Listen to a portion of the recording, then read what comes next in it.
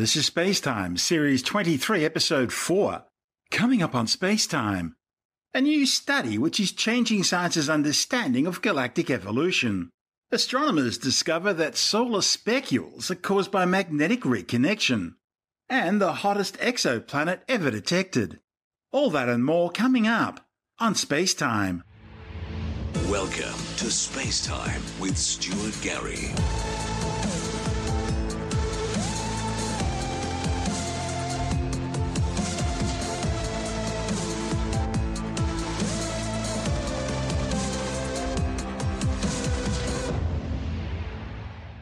Astronomers have discovered that galactic evolution may have begun much earlier than previously thought.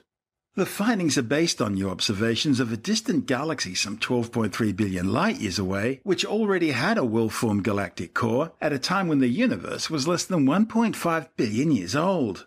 The findings, reported in the astrophysical journal Letters, pushes back galactic evolution by at least a billion years. The galaxy the team was studying, which was already more massive than the Milky Way, contained more than a trillion stars. The study's lead author, Masayuki Tanaka from the National Astronomical Observatory in Japan, says science's understanding of how galaxies form and grow is still quite limited, especially when it comes to really big galaxies. He says that galaxies can be broadly categorized as being either dead or alive, Dead galaxies are no longer forming stars, while living galaxies are still bright with lots of star formation activity. A third type of galaxy, called a quenching galaxy, is one in the process of dying, meaning its star formation is significantly suppressed. Quenching galaxies aren't as bright as fully alive galaxies, but then again, they're not as dark as dead galaxies either. Researchers can use this spectrum of brightness as the first line of identification when observing the universe. The authors used the giant 10 meter Keck telescopes on Mauna Kea in Hawaii to observe a quenching galaxy in what's known as the Subaru XMM Newton Deep Field. This region of the sky is being closely observed by several telescopes, producing a wealth of data for scientists to study. Tanaka and colleagues used an instrument called MOSFIRE on the Keck 1 telescope to obtain new data on the galaxy. They obtained a 2 micron measurement of the near infrared spectrum. The authors also confirmed that the galaxy's star formation was being suppressed, meaning the galaxy had started to die. But that's exactly the kind of galaxies the authors were looking for in order to understand why quenching occurs. As they studied this distant galaxy, they discovered that its core was already fully formed at a time when the universe was really still quite young. How stars move within a galaxy depends on how much mass that object contains. Tanaka and his team found that the stars in the distant galaxy seemed to move just as quickly as those closer to home. The previous measurement of this kind was made when the universe was already 2.5 billion years old. That's a billion years closer to where we are now. The authors pushed that record back to 1.5 billion years and were surprised to discover that the core was already mature. The team are now looking for even more massive galaxies at even greater galactic distances and hence earlier back in space time.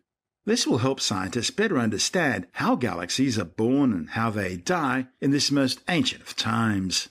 You're listening to Space Time. Still to come, the hottest exoplanet ever observed. And later in the science report, the Wellington City Council wins New Zealand's Bent Spoon Award for the worst pseudoscientific piffle of the year. All that and more coming up on Space Time.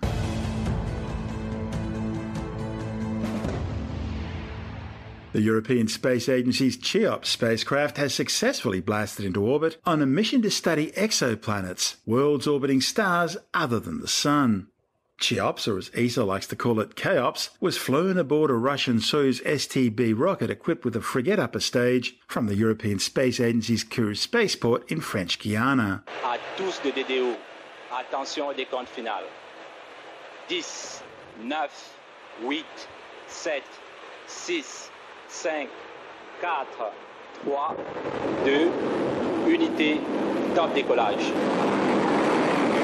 Les paramètres au bord sont normaux. Always impressive, no matter how many times you see Soyuz powering into the sky. 309 tons at liftoff. That's less than half the mass of Ariane 5. The boosters are the first stage. The boosters on the central core, or second stage, are burning now. Les paramètres au bord sont conformes à l'attendu. As the DDO says, all is well on board. The boosters weigh 45 tons each at liftoff. Total mass of the first stage 178 tons. Their engines running on liquid oxygen and kerosene. The same propellants used in each of the three lower stages. Les paramètres propulsifs sont conformes à l'attendu. The second, or the core stage, similar to the boosters, its ignition occurred on the launch pad stage will burn for four minutes. Séparation des quatre propulseurs. At separation of her boosters, she's down to 135 tons. So in less than two minutes, she loses more than half her weight. The uh, data are received by the Russian teams in the launch center, then confirmed before being broadcast. Next up is jettison, jettison of the fairing. That's in about 20 seconds. Fairing measures of four meters in diameter, stands about 11 meters tall. We can get rid of it now because we no longer need the protection it gives the satellites during their ride through the Earth's atmosphere. At 100 kilometers up, we are out of the dense layers of the atmosphere. There's no more friction, no more heating, which can disturb the satellites. Signals from the spacecraft received at Mission Control near Madrid by way of the Troll tracking station confirmed that the launch was successful and Cheops was deployed into its correct transfer orbit. It's since been transitioning into a sun synchronous orbit at an altitude of about 700 kilometres. CHEOPS stands for Characterizing Exoplanet Satellite. It's a partnership between ESA and Switzerland to investigate known exoplanets beyond our solar system and provide key insights into the nature of these distant alien worlds. The 300 kilogram spacecraft was built at the University of Bern and uses solar panels that also act as part of its sun shield, providing 60 watts of continuous power for its instruments, which will be downloading around 1.2 gigabytes of data every day. Scientists had long speculated about the existence of exoplanets, but it was all just speculation until the discovery of 51 Pegasi b, the first planet found orbiting around a sun-like star, which was announced in 1995. The discoverers Didier Queloz and Michael Mayor shared the 2019 Nobel Prize in Physics for their breakthrough finding, which marked the beginning of a new era of investigation and turned planet hunting into one of the fastest growing areas of astronomy. Over the past quarter of a century, astronomers using telescopes on Earth and in space have discovered more than 4,000 exoplanets around stars near and far, most of which have no analogues in our solar system. This widely diverse assortment extends from gas giants larger than Jupiter to water worlds, ice giants, and small rocky terrestrial planets covered in lava. This report from ESA TV. By searching beyond the skies, the Geneva Observatory is helping to answer questions about the nature of the universe we live in. In 1995 at the observatory, Michel Mayor and Didier Queloz co-discovered the first ever exoplanet orbiting a sun-like star outside our solar system. In these days, I was using a technique that we call radial velocity, which is um, observing a star and looking for any change of speed in the star. Well, since then, the field has just exploded. As, as you may know, there is really now thousands of exoplanets. Um, there are a lot of planets known uh, to be transiting, which means the planet goes right in front of the star. And, um, and that's these techniques that we're using for, for the CHEOPS mission. The CHEOPS Space Telescope can measure this tiny dip in light from the star during the transit. CHEOPS's uh, aim is to measure the size of already known exoplanets. So it's not a discovery mission. It is really aimed at precisely measure the size. And once we have the size and possibly the mass, we can derive the mean density. And from then we know a little bit what the planet is made of. The exoplanets to be observed by CHEOPS are typically small and range from rocky and hot to gaseous like Jupiter, with possible Earth like planets in between. Many have been discovered at much closer distances to their host star than those in our solar system, some taking just a few days to complete an orbit. There are differences too in how today's search for exoplanets is conducted, with space based facilities complementing ground based telescopes, and racks of computers to process data from targeted stars and exoplanets. The observatory also houses the CHEOPS Science Operations Center. We're sending the observation program to the Mission Operations Center in, in uh, Madrid, uh, where then the information is uplinked to the actual instrument.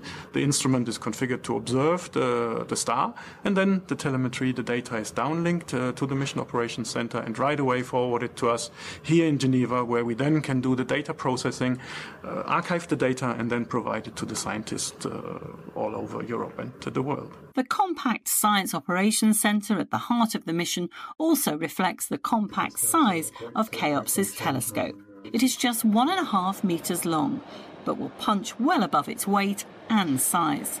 There are now over 4,000 known exoplanets and counting, and through repeated observations of several hundred of them, the mission will provide an important insight into the inner structure of exoplanets, how they form, and evolve. And that report from ESA TV featured Didier Queloz, chair of the CHEOPS science team, as well as Michael Mayor from the University of Geneva, CHEOPS principal investigator Willy Benz from the University of Bern, and CHEOPS ground segment manager Matthias Beck from the University of Geneva. CHEOPS will examine hundreds of transiting exoplanets, following up on existing exoplanetary discoveries, undertaking detailed observations of their size, mass, and likely composition, thereby allowing scientists to work out how they formed and evolved. The mission will observe these planets exactly as they transit in front of the host stars, blocking out a tiny fraction of the star's light and allowing the probe to measure their sizes with unprecedented precision and accuracy. This data will be combined with ground based spectroscopic surveys, which have already provided mass estimates. See, knowing both the mass and size of an exoplanet lets astronomers determine the planet's average density, and thus estimate its general composition, whether it's a terrestrial planet like the Earth, a water world, or a gas giant. CHEOPS should be especially good at spotting shallow transits and for determining accurate radii for known exoplanets in the super Earth to Neptune mass range, which includes objects between 1 and 6 Earth radii.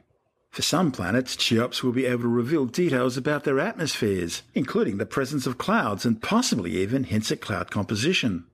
The mission also has the capability of discovering previously unknown exoplanets by measuring tiny variations in the timing of the transits of known planets, and can also be used to search for moons or even rings around some planets. By revealing the mysteries of these distant alien worlds, CHEOPS will take science a step closer to answering one of the most profound questions of humanity whether or not we are alone in the universe. CHEOPS' mission won't be easy. Both its instruments and the spacecraft itself have been designed and built to be extremely stable, so as to measure the incredibly small variation in the light of distant stars as their planets transit in front of them. For an exoplanet similar in size to the Earth, this amounts to the equivalent of watching the Sun from a distant star and measuring its light dim by just a tiny fraction of a percent. This report from ESA TV. CHEOPS, a specialist satellite with a single instrument, a powerful camera or photometer. It'll record the light from stars orbited by known exoplanets. CHEOPS is designed to investigate what these planets are like. We'll be focusing on smaller planets, so uh, Earth-sized to Neptune-sized planets, which have been found by other missions, such as Kepler, to be very abundant around other uh, other stars, sun-like stars. Something which is not so much the case in our own solar system. So it's a big question. What are these uh, uh, um, smaller planets? What are they made of? CHEOPS will do this by measuring the variation in light caused when an exoplanet passes in front of its host star.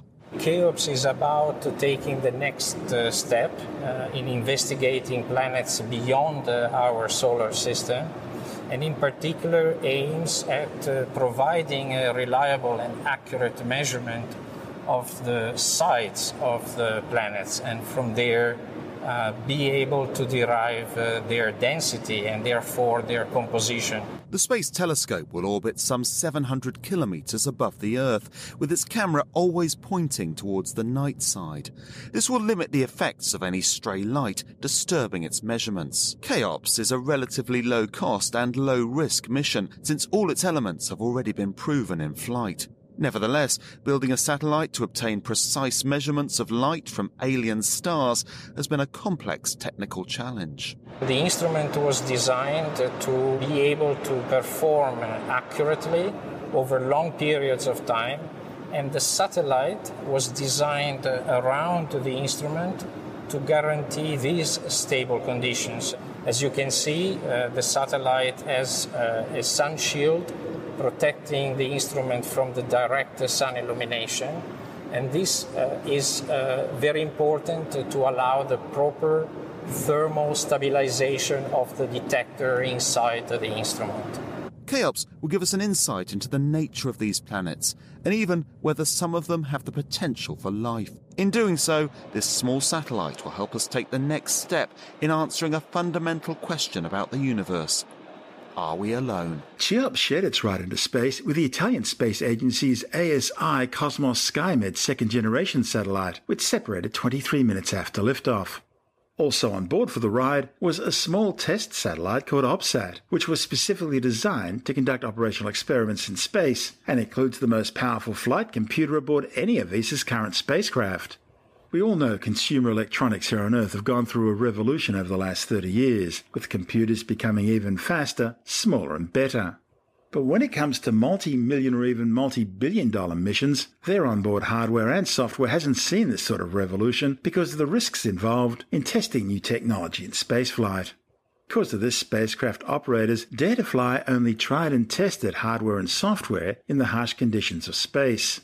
Innovation on the operational side of satellites is a very slow moving process. And this is where OPS-SAT comes in providing an opportunity to safely test new mission control techniques.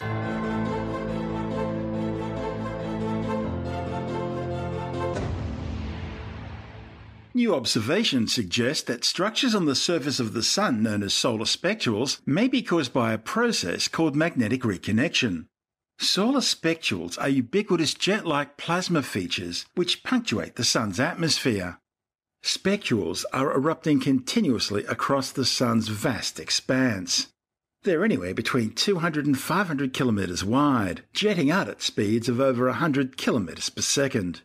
At any given time, more than a million of these geyser-like spicules are seen erupting from the photosphere, the Sun's visible surface, and launching columns of plasma high into the Sun's upper atmosphere, the corona.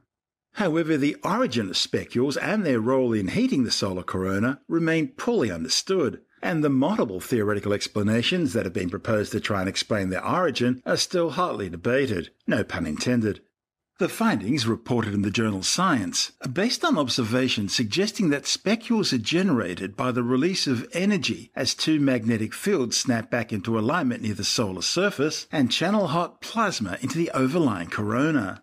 Although this highly dynamic solar phenomenon has been observed from Earth for more than a century, actually studying it's quite difficult because each spicule from formation to collapse usually lasts only a few minutes. It's been speculated that spicules may be involved in transferring energy and solar plasma from the Sun's surface to feed the much hotter corona and solar wind. The big problem is that the laws of thermodynamics tell us that things tend to get cooler the further away you get from a heat source. For example, at the Sun's core, where nuclear fusion of hydrogen into helium takes place, the temperature is around 15 million degrees Celsius. But this cools down to just 6,000 degrees Celsius by the time that heat reaches the Sun's surface. It mysteriously heats up again to over a million degrees by the time it reaches the corona. Using unprecedented high resolution observations from the Big Bear Solar Observatory in California, combined with tracking data from NASA's Solar Dynamics Observatory spacecraft, astronomers were able to show that spicules are ejected from the Sun's surface when magnetic fields with opposite polarities reconnect in the Sun's lower atmosphere. Lead author Wenda Cao from Big Bear says it's the first time scientists have seen direct evidence of exactly how spicules are generated. Cao and colleagues tracked the emerging spicules at high temporal resolution in the hydrogen alpha spectral line right down to their footpoints, where they measured the magnetic fields, captured the migration of the emerging magnetic elements, and verified their interaction with existing magnetic fields of opposite polarity. The authors discovered that many spicules occurred within just a few minutes of the appearance of a patch of reverse polarity magnetic field within the surrounding dominant polarity field.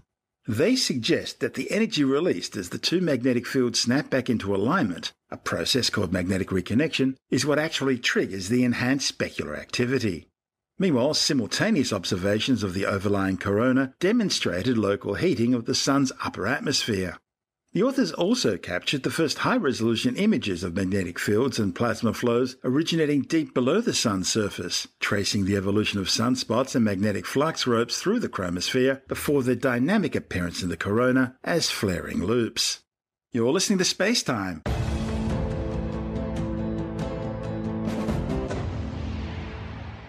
Astronomers have discovered an exoplanet that's so hot its atmosphere is composed of vaporized heavy metals.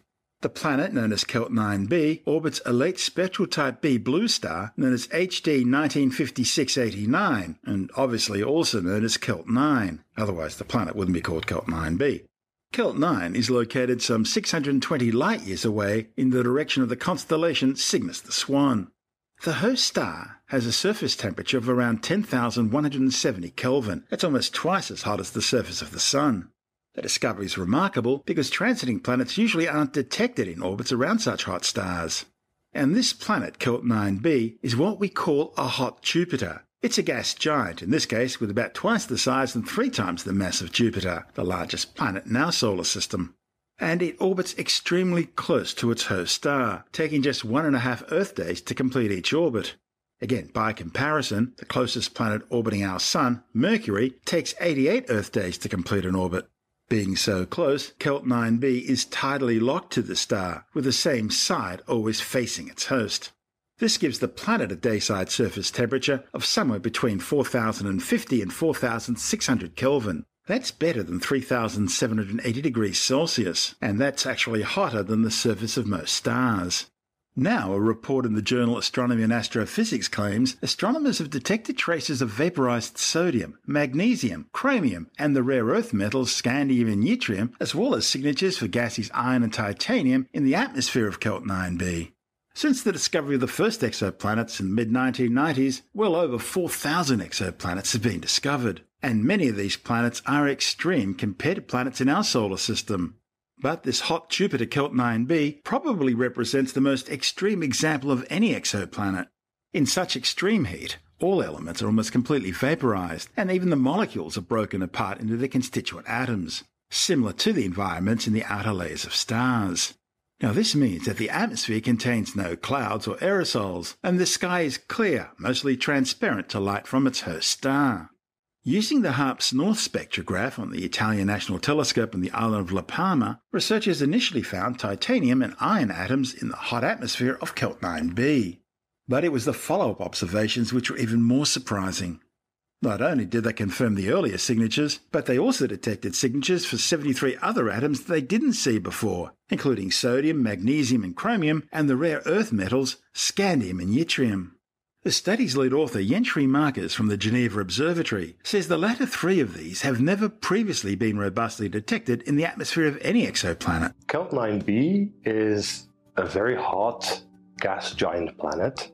You can imagine it as a planet that is somewhat similar as Jupiter in our own solar system, uh, but it is located very close to its host star. And that itself is not necessarily special because we know of many planets that are like, like this. We call them hot Jupiters. But this planet is orbiting a particularly hot star as well. And that means that it is the hottest exoplanet that we know exists today. So, what we have discovered in the atmosphere of Kelt 9b is that it contains, in gaseous form, uh, heavy metals such as iron, titanium, chromium, and other heavy metals that have never been observed in the atmosphere of a planet before. In the atmosphere of Kelt 9b, we have detected a number of heavy metals, and two of these are what we call rare earth metals scandium and yttrium. And these have not been observed in the atmosphere of any planet before. To study what the atmosphere of a planet is made of, astronomers make use of a technique called spectroscopy. So, the light from the exoplanet system will reach our telescope. And the telescope, instead of making a picture, it will feed the light into the instrument called a spectrograph. And the spectrograph acts to disperse the light into its individual colors, like a rainbow. Now, this rainbow will tell us how bright the object is at each of its individual colors. But the material that is present in the planet will absorb colors at very specific places. And uh, for many uh, for many atoms or species, that can be a very complicated pattern of colors that is absorbed. So you can think of that as some sort of a fingerprint. Every atom has its unique pattern of colors or its unique fingerprint that it absorbs. So by passing the light through a spectrograph and seeing at which colors the light is absorbed, we will be able to distinguish which elements are present in the object, even if it's many light years away. The authors are able to use these signals to estimate at what altitude in the planet's atmosphere these atoms are absorbing, and find out more about the strong global wind patterns high up in the atmosphere, which are blowing the material from one hemisphere to the other.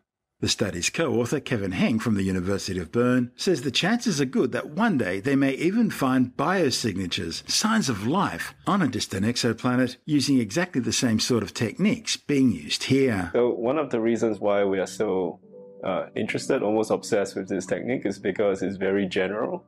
It makes us think of molecules and atoms as fingerprints of an exoplanet.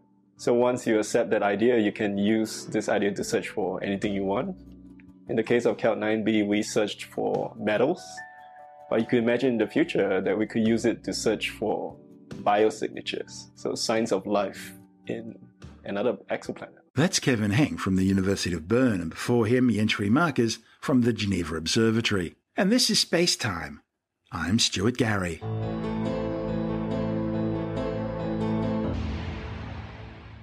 Russia has carried out its final launch of a Rokot rocket. The flight from the Plesetsk Cosmodrome 800 kilometers north of Moscow carried three GONETS M telecommunications satellites into orbit. The Rokot is a converted SS-19 Stiletto intercontinental ballistic missile, with its usual thermonuclear warhead removed and replaced with a satellite payload attached to a Breeze KM upper stage. The satellites were eventually placed into a 1500 kilometer high low Earth orbit. The first Rokot was launched from Plesetsk back in May 2000. Since then, some 30 Rokots carrying more than 70 satellites have been launched into orbit. Both the Rokot booster and the Breeze KM upper stage use highly toxic dimethylhydrazine fuel together with nitrogen tetroxide oxidizer, making them environmentally dangerous. Another problem with Russia using the Rokot has been the fact that the launcher uses a Ukrainian developed control system, and Russia and Ukraine aren't exactly on speaking terms at the moment.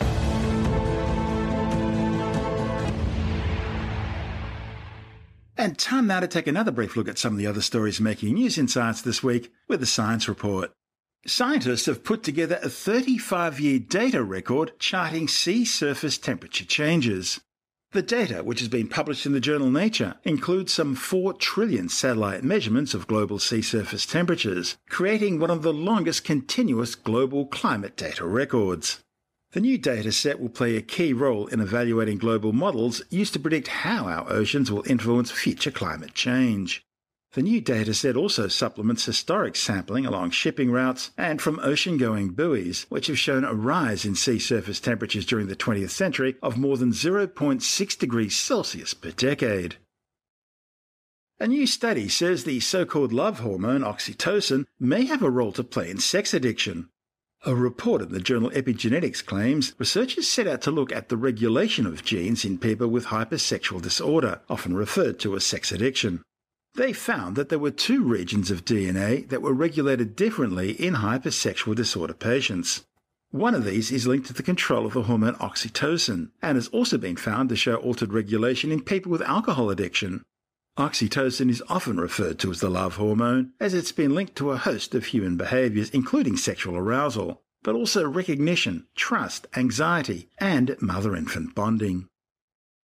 New researchers revealed that Australia's oldest flowering plants arrived on the continent some 126 million years ago and probably resembled modern magnolias, buttercups, and laurels. The findings by scientists with the University of Melbourne also determined that Australia's first blooms probably got their foothold in high southern latitude regions like the Otway and Gippsland Ranges. The research also established that these first flowers are related to 72% of today's living angiosperm species that first appeared in southern Australia around 108 million years ago, some 17 million years after the first flowers evolved in equatorial regions.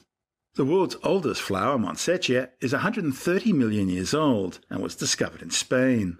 Scientists found it was warming temperatures which allowed the first flowering plants to migrate to cooler regions closer to the Earth's poles. Iran says it's about to unveil a new generation of uranium enrichment centrifuges. The move is the latest show of defiance by Tehran against its 2015 nuclear deal. The Islamic Republic recently restarted uranium enrichment at the underground Fordow facility in violation of its nuclear agreements. It's also been preventing United Nations International Atomic Energy Agency inspectors from entering its facilities, another violation of its agreements. Back in September, Iran announced that it was firing up advanced centrifuges that enrich uranium at a faster rate. And in October, it announced plans for more ballistic missile tests as it continues its development of what experts believe is a nuclear weapons delivery system. Scientists have started a new breeding and conservation program to try and save the endangered White's or Sydney seahorse. The project, which is being undertaken by Sea Life Sydney Aquarium and the University of Technology Sydney, aims to successfully breed, raise, and release white seahorse back into the wild and then monitor any success in helping to reverse the species decline. White seahorse's decline is largely due to its loss of natural habitat. So researchers have begun collecting breeding pairs from Sydney Harbour and this included some pregnant males with several births already confirmed in their new custom built habitat, which will accommodate the growing juveniles until they're ready for release back into the wild. The long term aim is to support the overall recovery of the species with the installation of seahorse hotels across Sydney Harbour. These will encourage the recovery and ongoing breeding of white seahorses, given that so much of their natural seagrass, sponge, and soft coral habitat has now disappeared. The hotels are based on discarded crab traps covered with sponges and algae, providing seahorses with both camouflage and a source of food. Well, in case you missed it, SBS Television won the 2019 Australian Skeptics Bent Spoon Award for the biggest pile of pseudo-scientific piffle of the year for their show Medicine or Myth, which clearly demonstrates how poor broadcasting and bad journalism places good science second to bad entertainment. Well, New Zealand skeptics have their own version of the Bent Spoon Awards, and their 2019 winner was the Wellington City Council for demonstrating the most egregious gullibility over the past year. Tim Mendham from Australian Skeptics says the Kiwi Council won the dubious accolade for its contractors' use of water divining to try and find underground pipes. In this case, it went to uh, Wellington City Council for one of its contractors using divining rods to try and find water pipes, etc. They thought that was very strange. Wellington City Council said, "Thank you very much. We actually don't want this award." they, were, quite uh, restrained, actually, in uh, in uh, accepting it. They just uh, and they said it's not our fault. Basically, they said it's a contractor that we use, and the contractor was quite uh, even-handed about it, if you like. That he said, "Oh yeah, some of us use it. Yeah, it's it's, not foolproof, but I'm I'm told it works and sort of thing." So um, it's a strange thing. It happens in various councils around the place. People trying to find water or electricity lines or that sort of thing by using dowsing. There's no evidence it works apart from the uh, practitioners swearing by it and there might be various reasons why it works for them, but it's, it's whenever it's been tested scientifically, it uh, it doesn't work. I remember when I was first starting out in radio many many years ago. One of our biggest sponsors for our show was a drilling company that drilled for water. This is in central western New South Wales, and uh, their method of finding where to drill was using divining rods. Of course, the fact is the water table is everywhere, so you're going to hit water eventually. It's just a question of how deep you have to go to get there. So I always thought that was rather amusing, but uh, again, they swore by it. They thought it was it was just a fact. This is how it works. Yeah, I mean, sort of, uh, we believe that all the diviners we've tested, we've tested over 100, that they, they, they genuinely believe yeah. that they're not sort of yeah fakes, they're not shonks, in other words, yeah, who are trying to make a buck by ripping people off. They certainly believe they can do it, and perhaps they do do it. As you said, there's a, a water table underneath a lot of places in Australia, and you just have to keep drilling down until you find it. Hopefully, it's amazing that how often a psychic will say drill down here and it doesn't work. But nonetheless, there might be various reasons, like they just know the landscape, they understand how water sort of collects underground, that sort of thing. People who talk about there being streams underground is a bit of a problem because it tends to be water tables rather, know, sort of still water rather than uh, flushing rivers, as you might sort of picture in a cave or something like that. So when they talk about movement of water, you, start wondering about it. But I mean, they've used every sort of yeah. The standard divining rod is, is a bit of metal or, or a twig that's uh, bent into a Y shape and it's sort of goes up and down depending on uh, whether there's water there or not. I'm never quite sure if it's up is water or down is water. People seem to have a different view. Oh, these ones were we've seen using uh, use- two L-shaped metal rods, and one was held in each hand very loosely. And as the dude doing the divining, I don't know if that makes him a divine dude, but as the guy doing the divining walked along, these rods would move, and when they cross, that's where the water was, or at least Yeah, they hope. yeah I, I tried that too. They, they often put the smaller L shape, which is held in the hand, inside a tube. So, so it actually moves more easily rather than in your fist, which is, can be a bit sticky. And that means that it can move a lot more easily. And all you have to do is sort of tip your arm or your hand even slightly, and the wires will move. I think I've seen people use cubes, dice, cricket balls on a string. In one test, someone used his son on his shoulder, who, if the kid started squirming, there was water. We need, or he needed to go to the toilet. Not quite sure. which. Well, there was water. Was Yeah, as you say, sort of the the, uh, the Kiwis gave this award to, to the Wellington Council. Wellington Council said, well, we, we really don't want it. Uh, they also said that most of us don't believe it, but it's the contractor who's using it, and they said it's not costing us any money anyway, so why not? That's Tim Mendham from Australian Skeptics. And that's the show for now. You can subscribe and download Space Time as a free twice weekly podcast through Apple Podcasts, Stitcher, bitesz.com, Pocket Casts, SoundCloud, YouTube, Audio Boom, from spacetimewithstuartgary.com, or from your favorite podcast download provider. If you want more space time, check out our blog, where you'll find all the stuff we couldn't fit in the show, as well as loads of images, news stories, videos, and things on the web that I find interesting or amusing. Just go to spacetimewithstuartgary.tumblr.com. That's all one word and in lowercase, and that's Tumblr without the E. You can also follow us through at Stuart Gary on Twitter, at Spacetime with Stuart Gary on Instagram. On Facebook, just go to www.facebook.com slash Spacetime with Stuart Gary. And you can also find us on the Spacetime with Stuart Gary YouTube channel. Spacetime is brought to you in collaboration with Australian Sky and Telescope magazine, your window on the universe. You've been listening to Space Time with Stuart Gary. This has been another quality podcast production from bitesz.com.